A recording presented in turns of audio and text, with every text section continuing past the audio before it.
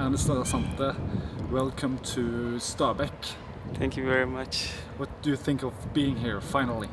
Yeah, I think uh, it's, it's, a, it's a nice place and uh, I'm happy to be here. I think the discussions has been going on for a long time and then finally I'm here so I'm glad to be here.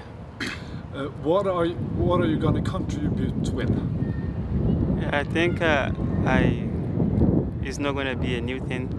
I've played in Norway for some time now and um, if I can say I'm well known by the, the, the players so it's not going to be anything new. I'll just uh, keep up uh, how they know me. Are you the fastest player in the whole Tippeliga?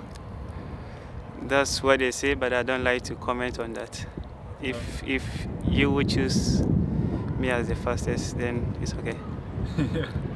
I'll tell you, and that's okay. Yeah, Then it's then, good. then it's good. Uh, when will you play your first game for the club? Uh, I'm not sure yet, but uh, hopefully soon.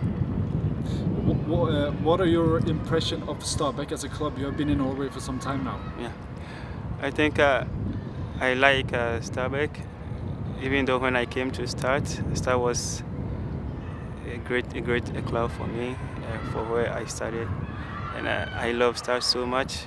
But then I remember we played a game, a, game against uh, Stabæk, and I think uh, they played really well. I think we lost uh, 5-1, and from then I, I thought Stabæk is a, a great club, and uh, I spoke with uh, Anthony Annan, and he- told me the same thing. So I think Stabæk is a, a great club. How do you see the season 2015?